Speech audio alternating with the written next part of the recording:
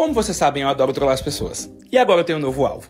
O Lactia. Então eu tive a incrível ideia de entrar numa caixa dessa tamanho real, vestido de princesa, e invadir a casa dele de surpresa. Então lá fui eu pra São Paulo, né, com essa tralha toda. Cheguei no apartamento do Lactia e o Fernando, amigo dele, me ajudou abrindo o apartamento pra mim. Tá na faculdade.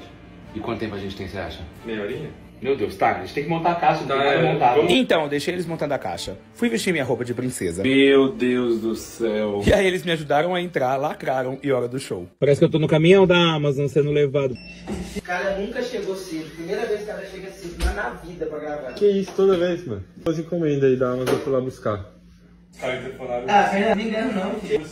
E daí? Chegou mais cedo, você nunca chega mais cedo.